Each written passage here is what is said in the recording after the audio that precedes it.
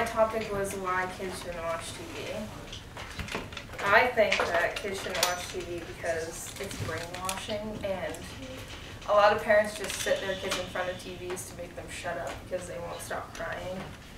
And I've seen a lot of parents do that and it's, it's kind of sad and this generation now, a lot of kids are on phones, iPads. They want to just sit in front of the TV, flip through the channels, see what they can find. And a lot of kids are coming across inappropriate TV shows and getting hooked on them. And that's not good at all. Um, Should TV never, be- should kids never be able to watch it or? um, well, I think at a certain age they should be able to watch it, but at like four years old, like kids are getting hold of the remotes and coming across channels that are inappropriate, like MTV, for example, people swearing.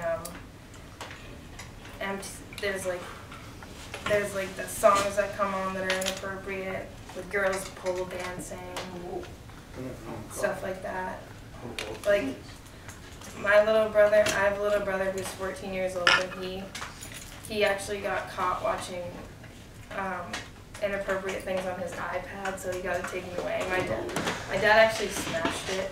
Because he's done it many times, and because he thinks, oh, well, my friends are watching this stuff, so I can do it, and he also like too like kids like it's not just TV like kids are playing video games that are inappropriate like GTA for example like um, these new like Halo games like all these bloody gory things and I just think it's wrong and when kids hit certain age it's fine but when you're when you're so young like you don't know you don't know necessarily know what you're doing. You're just like flipping through seeing what catches your eye and it's usually the bad things that catch you so don't